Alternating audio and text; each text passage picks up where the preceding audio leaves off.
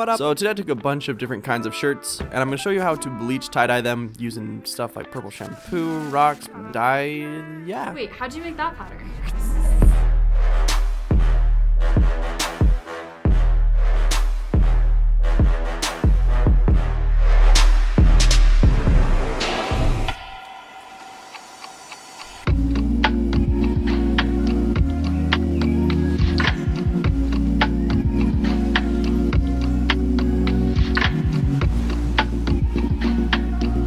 Sponsored by Squarespace. So I took this squeeze bottle and spray bottle and filled it halfway up with water, and I'm gonna fill the other half up with this bleach. Wow, such precision. Doing so good, bud. Well, there you go. So we'll see which one works best on the shirts. Let's tighten her up and give it a little shake. Shake it, shake it, shake it, shake it, shake. So I have these black Collie Cotton shirts with a little black image on them, and we're gonna use them and see how they do. So the first thing I wanted to try out was like the, the traditional spiral technique when you do tie-dyeing. So you just spiral on up and asked Ainsley for a rubber band. Perfect. That was so terrifying. I don't know why it was so terrifying. And I'm just gonna section, sure, section it off in like little pizza pie slices. And I was also curious to see what would change if we like started with a wet shirt. So the one on the left, dry shirt, one on the right, wet shirt. Perfect. I tried out the squeeze bottle first, and right off the bat I noticed that my shirts were kind of a little bit scared of water. They're hydrophobic. But the shirt on the right that I pre-soaked, soaked it right up. I tried out the spray bottle, and that one seemed to work on both the wet and dry shirts, so that's the one that I'm going to use for most of the bleach dyeing on shirts. Next, to flip it over and do the backside. And every oh. time that I would do this, I would clean off the surface as to not get the other side bleached where I didn't want to get bleached. So I did that backside real quick and added a little bit more bleach on that side and then on the front side again and it kind of started to turn. But we're going to set that aside and dry. Because those are a collie cotton blend I wanted to try out on a 100% cotton shirt. So I went and got some of those some cute little Gildan ones and just did the same thing. And I could already tell that they were like bleaching so much quicker I guess. And I have to try it on the wet one again so we could test out how it affects a dry and a wet one. A wet one, wet one, which one? Wet one, a wet one. What just happened? I just have a stroke? So for the next method, I just bunched up the shirt and started catch-upping up my bleach. And because these shirts are so scared of water, the bleach would like run off into these little nooks and crannies, which made for actually a really cool effect. And I know because I've doing a voiceover, I've already seen it. Surprise, surprise. I also just sprayed the top of it because I wanted a lot of this shirt to be bleached. Whoa, let's see that again. I really like these little time lapses of it bleaching. But yeah, so I did the front and now to do the back, same idea, just crumple it up and mustard my bleach on there, spray it, and ugh, let's clean that up. Oh, snake arms. And for the next technique, Ainsley's actually going to show us how to do this. That's why my hands look so dainty and cute. Dainty and cute. But you fold your shirt hot dog ways, and then hot dog ways one more time. And then you can do little triangles, kind of like if you're folding a flag. I don't know if, how many people are folding flags. I've, Hi, I'm a Boy Scout of America. I fold the flags. Um, but yeah, so you fold little triangles, and you flip it, and repeat. And you end by just folding up the little bit that you can and then putting a triangle cardboard piece that you cut out previously on the top and bottom.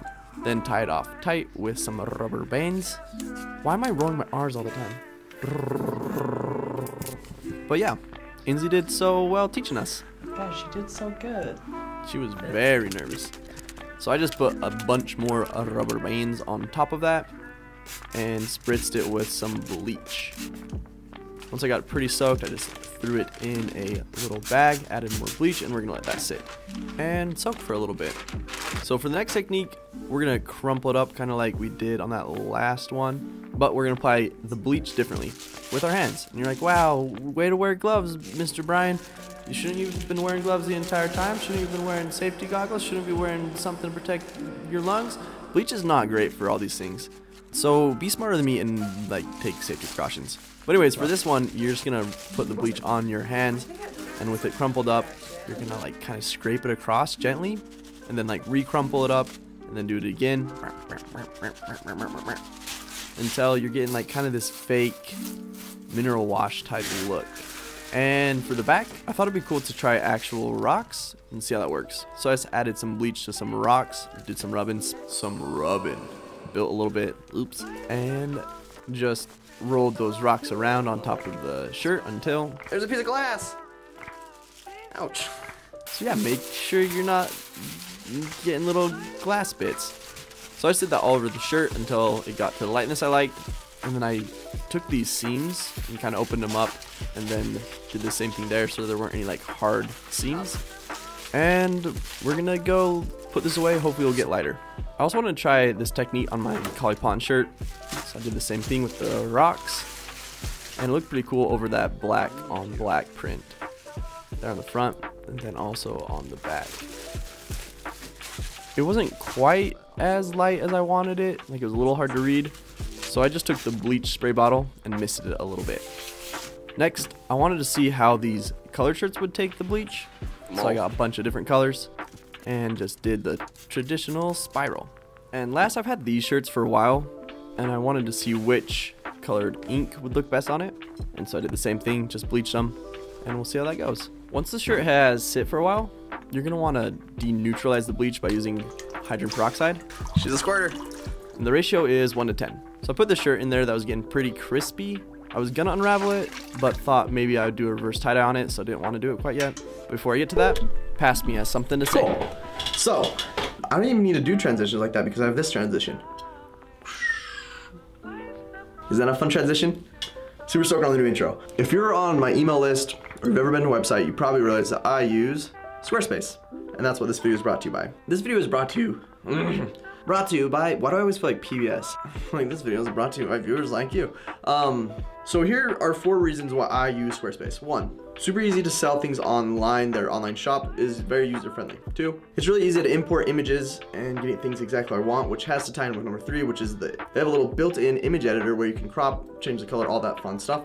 And last is their email list. So to go more depth with that, like getting an online shop was critical for me. And also I did it overnight. And I honestly haven't changed it since that first time I set up because the templates allow enough freedom to like stay on brand, but they're also very professional looking and good. So I don't have to do too much work. The, their tools are so integrated that posting a new product on your site is super quick that you can get it done in one night, which is what I did with those shirts.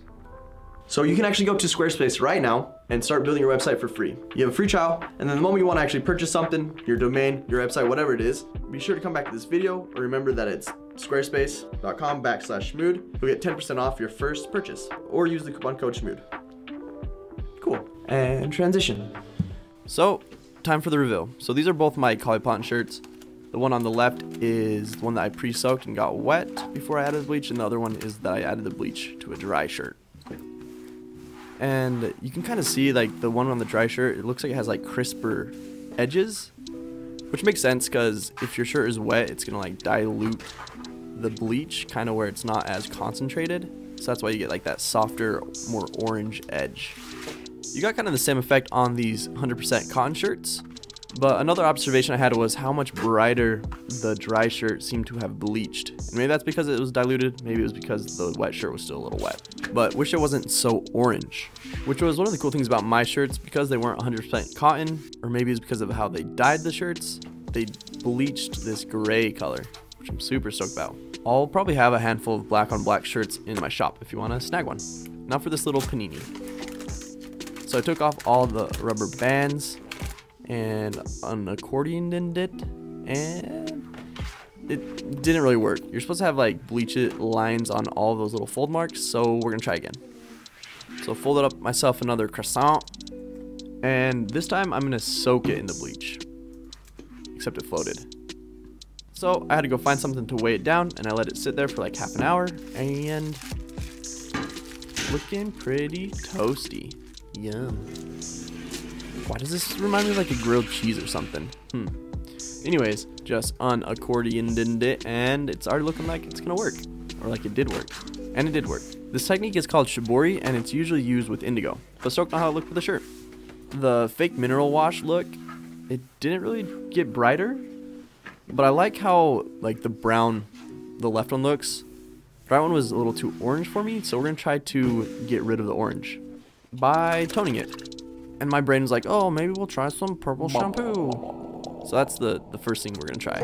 Whoa.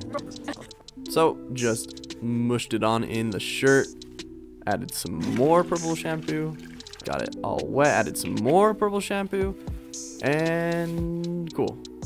We're just gonna let that sit and stew for a bit. Meanwhile, I wanted to try some dye to see if that would change it up on one of those spiral con shirts. So I added some black dye and it was already kind of blue. And the opposite of orange, which is what we want, right, is blue, but also it's kind of red. So I thought I would add a little bit of this like greenish blue dye. And it wasn't quite enough. Didn't really change much, so I just added some more, a lot more. Put it in, and it was already kind of dyeing it, so I thought that was good, and we're just gonna go ahead and rinse it out and let it dry. This is the original mineral wash shirt. Then this little circle is after the purple shampoo, and this one is after dyeing it after the purple shampoo. So I mean, kind of worked. I feel like it worked pretty well on this spiral one that I just dyed. I didn't use the purple shampoo. It did a pretty good job of toning out that orange color from the original shirt. But it did turn my hands blue, which someone on Instagram got mad at me for. Is dye bad for your skin? So another option if you want to get rid of the orange is you can actually just do like a reverse tie-dye. So I just bought one of those little tie-dye kits, and usually you want to apply the dye while it's still raveled up, but this was already unraveled, so I just made do with what I had. And when I lifted it up, oh, so beautiful. Because it was so wet, the colors like dye migrated. They just mixed and got really muddy. So I rinsed out the shirt and we're gonna try that again. This time, after I apply the dye, I'm gonna let it just sit overnight on my table. You can kind of see the dye on the black part of the shirt. I think that's gonna eventually fade out, but I was really stoked with the colors on the bleach spots. As for these shirts, I mean, I liked them most with the transparent ink. Then after bleaching it, I mean, still, the transparent ink was my favorite. So that's what's gonna be available in my shop. As for these colored shirts, the bleach did about what I expected and just turned the shirts a lighter pigment of what they were. So the reds went pink, your oranges went like a lighter orange, the the yellows looking like a nice happy banana. I don't know that green is, like a watermelon? Blue, with the exception of the purple one. They went pink. I think I'd really like doing like a mineral wash type look on these color shirts. But that's now up to you guys to experiment with them and see what you get.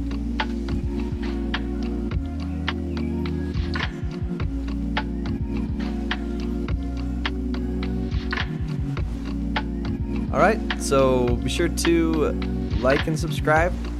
Go ahead and hit that bell notification. And yeah, thanks so much for watching, and thanks so much for our patrons.